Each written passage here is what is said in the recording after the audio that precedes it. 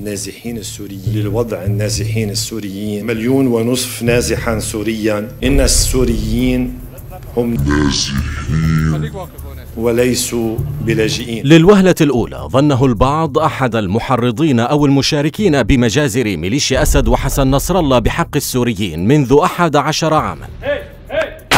حيث إن النازحين يستفيدون المتحدث هنا هو هيكتور حجار وزير الشؤون الاجتماعية في حكومة عون اللبنانية أثناء حديثه في مؤتمر بروكسل المخصص لدعم السوريين. مليون ونصف نازحا سوريا. يشكلون 30% من سكان البلد حيث تصل كثافتهم إلى 650 نسمة في الكيلومتر المربع. هذا ما يسمى بشلف الأرقام في حكومة فساد ومحاصصات طائفية تديرها إيران. ولا غرابة في الأرقام الواردة إذا ما علمنا أن أسباب الفشل المتكرر لمفاوضات الحكومة اللبنانية مع صندوق النقد الدولي حول قرض إنقاذ مالي منذ العام 2020 كان لاعتراض وشكوك صندوق النقد حول مسألة الأرقام والشفافية وانتهى قبل أيام فقط باتفاق مبدئي على قرض بثلاثة مليارات دولار بشروط صارمة أولها الشفافية. مليون ونصف نازحا سوريا. يقول حجار بأن تعداد اللاجئين السوريين في لبنان مليونا ونصف المليون. في حين تقول الأمم المتحدة والمسؤولة عن إحصاء وتعداد اللاجئين السوريين بأنهم نحو 850 ألف لاجئ أي أن حجار شلف ضعف الرقم الحقيقي. حيث أن النازحين يستفيدون من الخدمات المدعومة من الدولة على سبيل المثال مصادر الطاقة الكهرباء. وعن منتجات الطاقة والكهرباء فالدليل بساعات الكهرباء الواصلة للشعب اللبناني بالأساس. المواد الغذائية كالخبز وغيره. أما عن مسألة الدعم والأغذية فربما المقصود بهذه المشاهد لتوزيع أكياس البطاطا على مخيمات اللاجئين وتصويرها.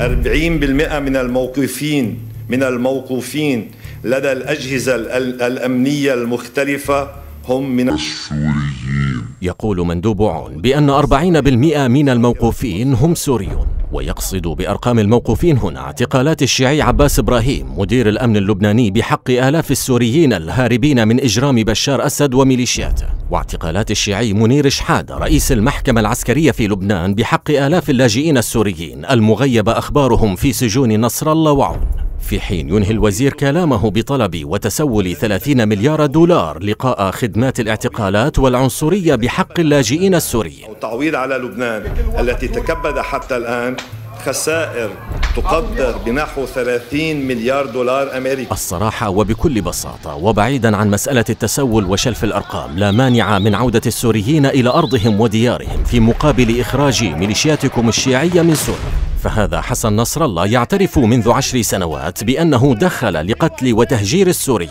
وإذا عندنا 5000 مقاتل في سويوي حيسيوا 10000 والفورية للنازحين السوريين. وعن المحاولات المستمرة لربط سرقات وفساد حكومات المحاصصة الطائفية بثمانمائة ألف لاجئ سوري.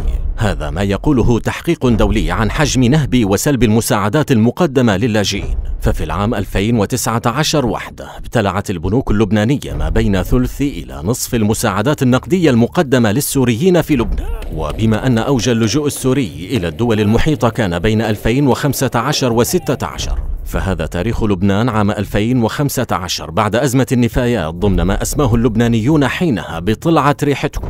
وطبعا جبال النفايات هذه هي امتداد للمشكلة اللبنانية المتمثلة بنظام الفساد والمحاصصات منذ عشرات السنوات وتوج بسلسلة من الاحتجاجات والثورات الشعبية آخرها عام 2021 في حين يبقى التساؤل للوزير المصر على تسمية اللاجئين بالنازحين أملا باستمرار نهب وسلب حقوقهم. عن مصير 20 إلى 40 مليار دولار أودعها السوريون في البنوك اللبنانية بحسب شهادة حليفهم بشار أسد. الأموال اللي أخذوها السوريين وحطوها بلبنان حدود أقل شيء 20 مليار دولار وبالحد الأعلى البعض بيقول 42 مليار دولار. وعلى سيرة بشار وتقرير منظمات حقوق الإنسان حول مخاطر القتل والاعتقال المتعلقة بعودة السوريين نعود لذات المطلب للوزير حجار وحكومة عون.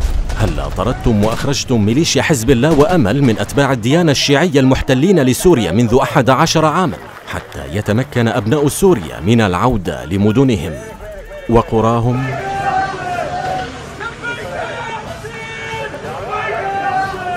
إن السوريين هم نازحين وليسوا بلاجئين.